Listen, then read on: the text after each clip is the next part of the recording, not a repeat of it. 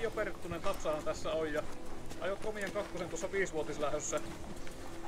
Mutta näytti jo vähän aikaa siltä, että voisi vaikka voittokin tulla. Tuntuuko se rattaisi siltä? No joo, ei se tuntunut, mutta tuota, siinä 50 ennen maalia se läheni niin paljon voimakkaasti, että tuota, siinä jo se kalakkivi olla varmaan metri pari jälkeen se oli ohi kyllä. Että, että, tuota, että, että tipalle se meni, että se pitää niin hyvin vauhtinsa vielä, että mieluummin on jaksavaa kuin nopea vielä tällä kerralla, mutta varmasti siihen koko ajan, koko ajan se kehittyy ja vauhtia tulee lisää, niin kuin nyt jo meni 23-3, niin erittäin tyytyväinen olevos. Kyllä. Se maalintulon jälkeen laukkas, menikö se vaan vapaalle vai oliko niin tarkasti ajoittanut? Että... Ei nämä ohja, löysäsi ohjat siinä sitten, kun olin maalin jälkeen löysäsi ohjat, niin se sitten laukkasi siihen. Kyllä.